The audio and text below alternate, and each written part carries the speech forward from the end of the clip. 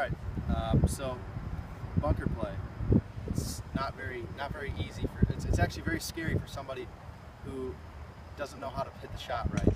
Now a lot a lot of tour players will um, they'll sometimes prefer to be in the bunker because they know how to hit the shot.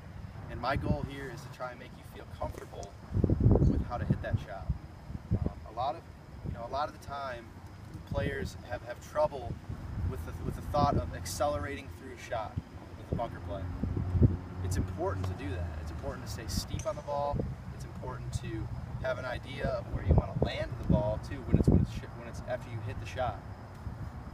So I have a drill here that what I'm going to do is I'm going to have you guys work on it, Trey especially because I'm going to talk to you specifically and I'm going to show you in, in, a, in a later segment here of, of how to hit the shot. But what I'm going to do is I am going to draw a circle around the golf ball. And this is going to represent where I want my club to hit the ball and how much sand I want to take out of the shot. First off, it's important to, to know that when you're hitting a bunker shot, your club face needs to be soled, but you can't touch the sand, right?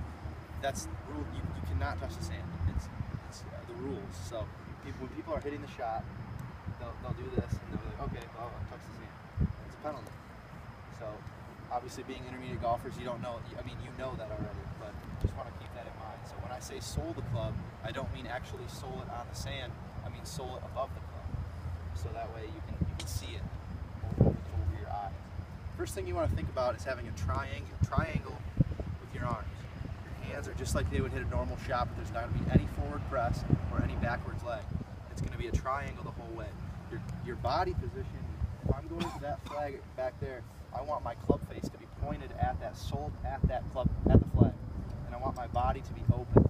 So my body's going to be pointing off at this big pole here in the background. But my club face is actually going to be pointed at that flag. So it's going to be soled at that flag. And I'm going to draw a circle. It's okay for the purpose of this demonstration to touch the sand because this is just practice. So I have right here uh, a circle that's drawn in the sand. And I will show you this with Trey later. But My idea with this is to just take the sand that's only in the circle, not behind it, not after it, not of it. I only want to take the sand that's around them. And keep the eyes on the ball, obviously it's important. So I'll hit a, I'll hit a practice shot for you just to show you what a, what a proper bunker shot should look like. And remember, you want to keep the club steep, on a steeper angle than you would on any other shot because you're going to drop it in and you're always going to want to accelerate through it.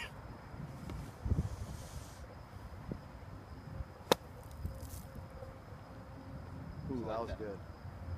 Yeah, so in general, if you can get the ball out of the sand and be confident on the greens, then you won't have you won't you won't panic when you're in it anymore. And that's that's the idea. You, you don't want to panic while you're hitting the shot. All right. Any questions? Nope. All right.